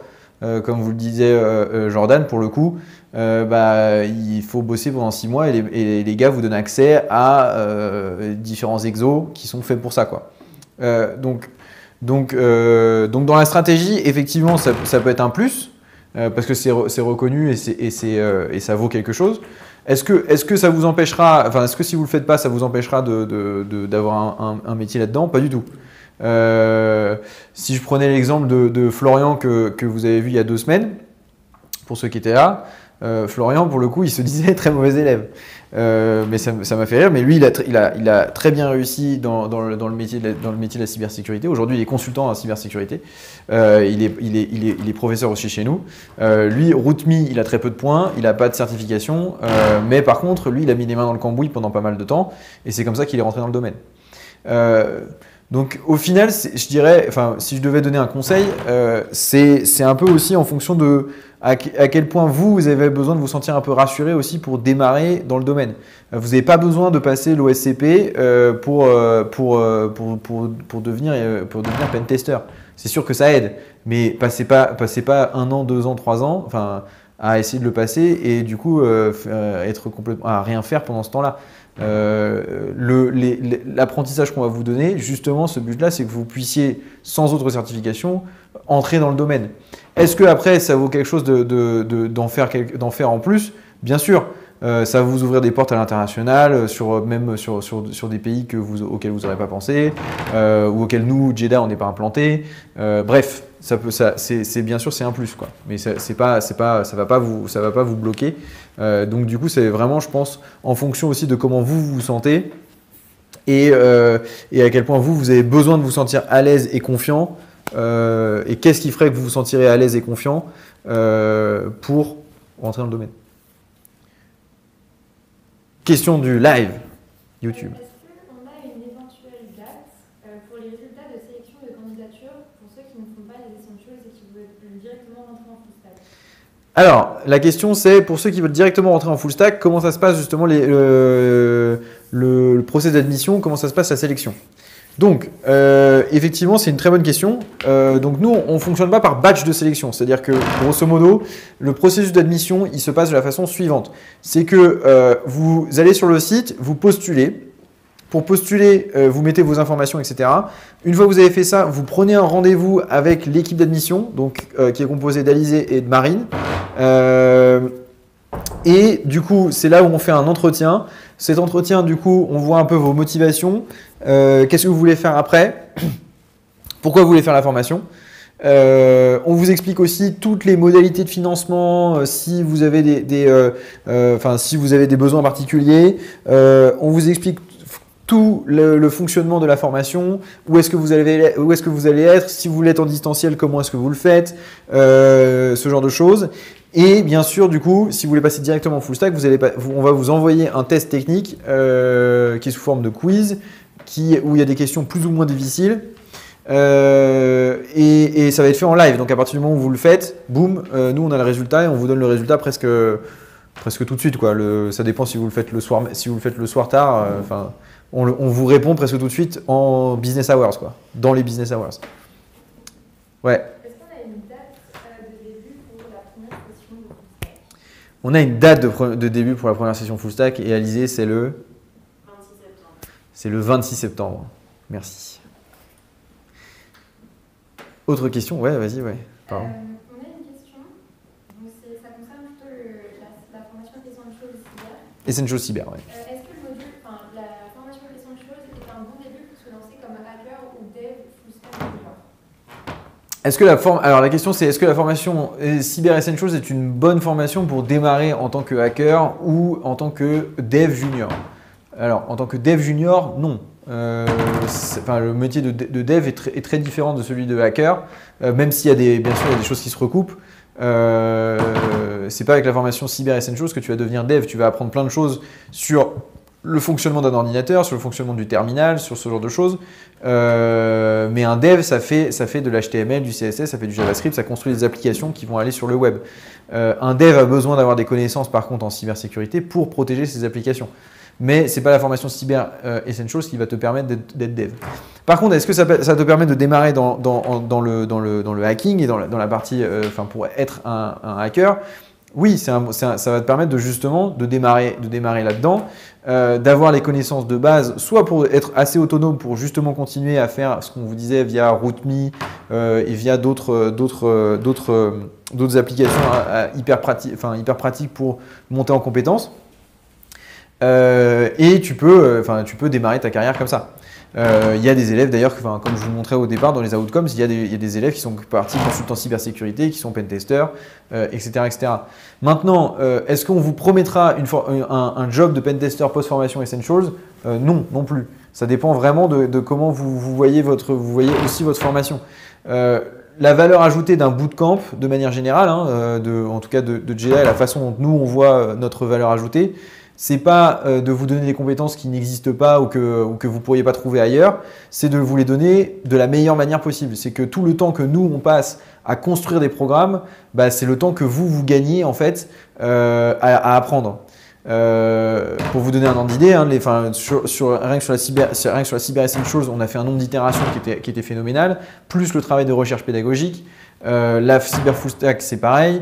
Euh, si je vous parle, je, vous mentionne pas la data parce que, enfin, c'est des chiffres qui sont délirants, mais euh, mais c'est ça le gain que vous, que vous avez à chaque fois. Le gain, il est toujours sur nous, on passe du temps à rechercher les outils qui sont pertinents pour le, pour le marché et de les mettre dans un, dans, d'une façon telle, avec une recherche pédagogique telle que bah, vous ayez un apprentissage très smooth qui vous amène de là où vous êtes en ce moment au, à l'objectif que vous avez à la fin. Euh, donc c'est, ça la valeur ajoutée d'un bootcamp. Euh, grosso modo, enfin, pour résumer en une phrase, hein, c'est vous apprenez en, trois mois ce que les autres prendraient cinq ans à apprendre. Est-ce qu'on a des questions pardon, en présentiel J'avais une question. Question présentielle. Est-ce que hum, un job dating est prévu après la Est-ce qu'un job dating est prévu post full stack? Alors oui, enfin euh, de la même, en fait, euh, on appelle ça le forum de recrutement. Le forum de recrutement, il aura lieu en novembre. Euh, et du coup, bien sûr, autant le premier, on a invité que des boîtes dans la data. Euh, autant le second, du coup, le but c'est que on ait euh, des besoins à la fois en data, à la fois en cyber. Euh, bien sûr, les, événements vont juste que, que grossir et d'être plus, on va dire, généralistes, dans le sens où on va inviter en fait des, des, des, boîtes qui ont différents besoins et qui peuvent être en cyber comme en, comme, comme en data. Ouais, donc c'est c'est maintenant la, la, cyber fait partie du, du, du, stack de JEDA, alors du coup, il n'y a pas de il a pas de différence entre la data et la cyber sur ce coup-là.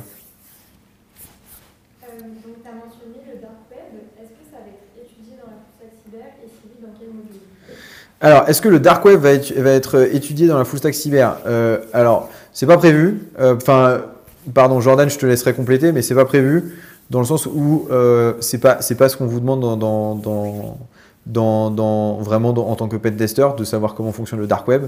Euh, par contre, de, par contre, euh, de la même manière qu'en data, les, toutes les compétences qu'on considère comme connexes, annexes, pas forcément nécessaires dans le domaine qu'on veut faire et qui du coup on préfère de laisser de côté pour euh, raison X ou Y, en général on les rajoute dans les, dans les online courses. Donc ça, ça fait partie du, un peu des online courses qu'on prévoit d'avoir euh, dans Julie, qui sont les, pour, ceux qui ne sont pas familiers avec Julie et la, la plateforme qu'on utilise. La plateforme qu'on utilise, donc Julie, ça veut dire Jedi Universal Learning Interface, qui est vraiment notre plateforme sur laquelle on a tous nos contenus, toute la pratique. Euh, bref, on a, on, a, on a littéralement tout sur ces plateformes. Et donc du coup, on a notamment les contenus de nos bootcamps, mais en plus on fait des cours online qui peuvent être faits en autonomie. Et typiquement, ça c'est un truc qu'on peut faire en autonomie. Jordan, je te laisse un peu peut-être, tu veux, tu veux compléter sur la partie dark web? Euh, Oui, en fait, tu as bien résumé. Pour le coup, non, y a, on ne va pas forcément parler de dark web, il n'y a pas un, un, module ou des heures qui sont allouées. Euh, après, rien n'empêche d'en parler un peu en informel avec, euh, avec le prof au moment voulu. Euh, effectivement, le dark web et la sécurité ce rapprochement, il est souvent fait un petit peu à tort. Euh, tort, jeu de mots. Haute blague de geek. euh, ouais, non, il y a déjà bien assez à voir avant de, de, rentrer dans juste une partie du web qui n'est juste pas indexée par les moteurs de recherche qu'on appelle le dark web. Ouais, merci. Euh, question présentielle? Non? Présentiel, pardon, je privilégie présentiel, désolé.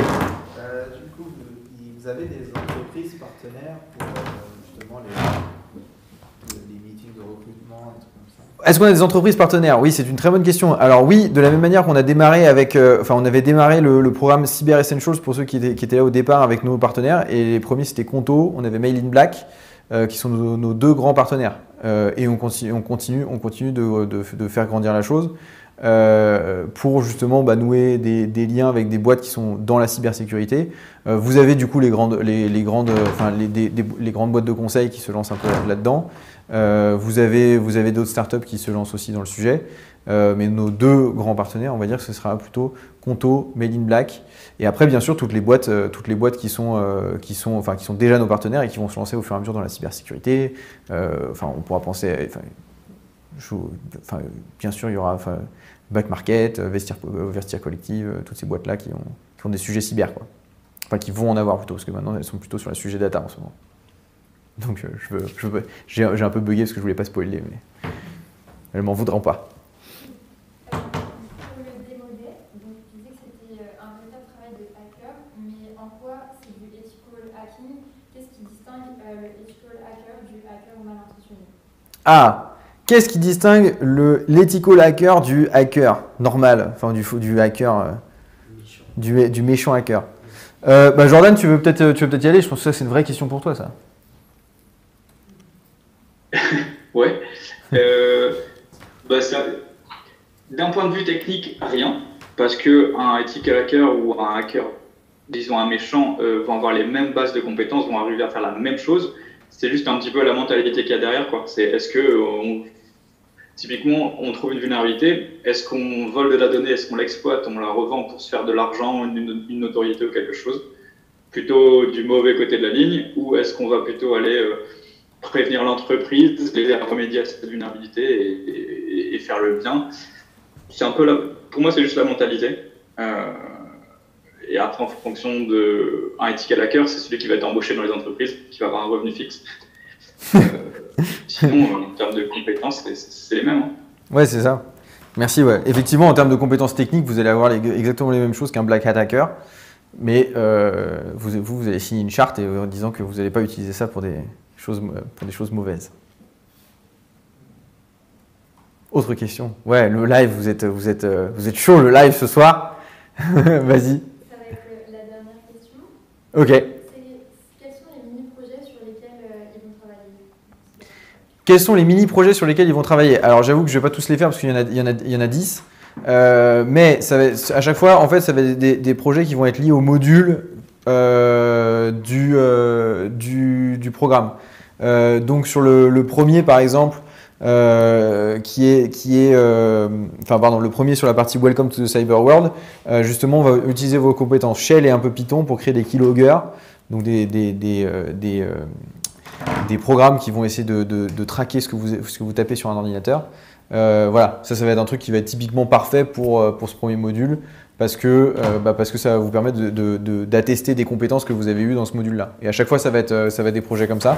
Donc, si vous voulez plus de détails, enfin, si vous voulez voir chacun des, mini-projets, euh, bon, je ne vais, pas tous les lister parce que je pense que ce serait trop long, mais n'hésitez pas à, télécharger justement le, syllabus. Et dans le syllabus, à chaque module, vous avez le mini-projet associé avec sa description, etc. etc.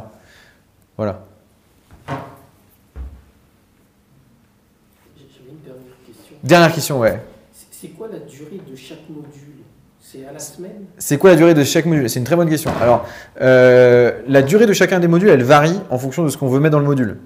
Euh, donc on a, euh, il fut un temps, et c'est là où justement l'apport de l'expérience pédagogique je trouve est importante, c'est qu'il fut un temps où on considérait plutôt que hein, on fait 12 euh, semaines de programme, donc chacune des semaines va correspondre, enfin on essaie de faire en sorte que, que les modules calent bien sur, sur les semaines. on est revenu de ça, on a itéré là-dessus. Il vaut mieux être, on va dire, hyper granulaire sur le nombre, enfin le temps qu'on veut allouer à chacun des modules, parce qu'il faut, il faut, il il y a un, temps euh, qui est, qui est un, temps idéal pour chacun des modules, euh, donc il va se compter plutôt en heures. Euh, donc par exemple sur la partie networking, vous avez plutôt, je crois qu'il est à peu près de 45 ou 50 heures. Vous, le, module 1, il est plutôt sur 10-15 heures. Et, et, grosso modo, compter, enfin, quand je vous dis 10-15 heures, c'est par tranche de 5 heures, donc 5 heures par jour de, de, euh, de théorie plus pratique appliquée directement à la théorie. Et après, n'oubliez pas que vous avez les deux heures en plus euh, qui sont faits avec votre TA et dans lequel vous travaillez sur le, sur le projet. Donc techniquement, vous avez toujours 7 heures de cours, mais les deux heures optionnelles. Voilà. Voilà. Mais du coup, pareil, encore une fois, n'hésite pas à regarder sur le syllabus, parce que du coup, vu que c'est variable, enfin, c'est pareil, chacun des, chacun des modules aura, aura un temps différent. Est-ce que, est que j'ai réussi à tarir toutes les questions avec, euh, avec Jordan? Waouh, ok Merci beaucoup. Je crois qu'on a passé combien de temps? Ouais, finalement, on a passé un peu plus de temps que prévu. Euh, merci beaucoup pour vos questions. Euh, j'espère que ça vous a plu. J'espère qu'on a pu vous donner envie de suivre ce programme. Nous, on l'a construit avec passion. On, continue, on, finit les, les, dernières itérations là. Et, je pense que ce sera un truc qui va être extrêmement intéressant pour tout le monde. En tout cas, c'est, euh, nous, c'est un, nouveau domaine sur lequel on est extrêmement heureux d'aller. Euh, merci surtout à Jordan aussi d'avoir participé euh, du coup au live, d'avoir répondu aux questions techniques. donc merci beaucoup Jordan d'être venu. merci à vous. Est-ce que tu veux dire un petit, tu veux dire un petit mot à l'audience peut-être? Toute l'audience qui te regarde. Moi? Ouais, ouais, toi, bah. Oui, oui. Si tu veux dire un dernier mot, sinon, après, ou sinon, sinon, sinon je conclue. Et non, juste profitez bien du verre de l'amitié, verre auquel je vais pas, je vais pas pouvoir avoir. ouais, mais... Mon, mon de la soirée. ouais, mais toi, tu as une famille à t'occuper, tu vois, c'est ça. Euh, mais merci en tout cas vraiment d'être venu. Euh, je pense que c'est vraiment utile pour les élèves aussi d'avoir le, vrai, le vrai point de vue technique euh, de, chacun des modules pendant que nous on vous donne un peu la, partie pédagogique et pour vous compreniez vraiment l'alliance de ces deux mondes pour faire un produit qui, bah, qui vous donne vraiment qui, vous donne vraiment et qui remplit les objectifs que vous vous êtes donnés. on, on arrête là. Merci beaucoup à ceux qui sont venus en présentiel. Merci du coup à l'audience live de nous avoir suivis euh, sur le live YouTube. Euh, on se retrouve du coup pour le prochain événement qui est dans deux semaines, euh, à peu près, je crois, c'est ça. Dans une semaine, c'est la semaine prochaine, qui va être sur la partie consulting en data. C'est pas ça C'est pas celle-là c'est le cloud computing, excusez-moi, je crois que si on avait, on avait le consulting en data. donc la semaine prochaine, effectivement, on repart sur des sujets data, et là, du coup, on parle de cloud computing. Ah, du coup, la semaine prochaine, et pour euh, ceux qui sont là, apéro. Merci à vous, merci à vous.